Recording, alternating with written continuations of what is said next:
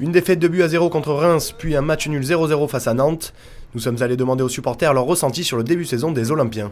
Un sentiment assez amer, euh, on s'est ennuyé euh, pendant deux fois 90 minutes. euh, Aujourd'hui, on regarde l'OM parce qu'on est supporter, mais euh, pas parce qu'on se fait plaisir devant.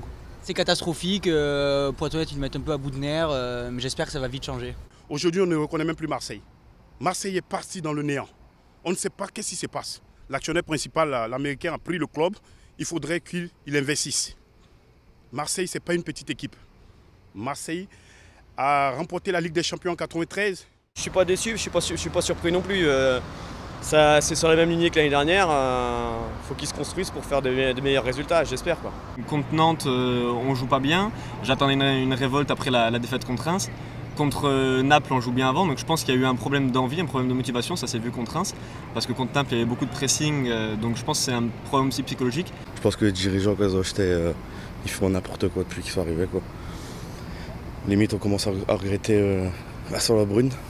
Il n'y a pas d'envie, on achète l'entraîneur, euh, il n'y a pas d'envie sur le terrain, il mouille pas le maillot. Après, deux, trois joueurs, Gustavo qui mouille le maillot à la rigueur.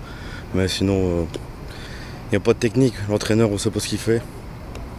Donc euh, ça s'annonce encore compliqué cette saison.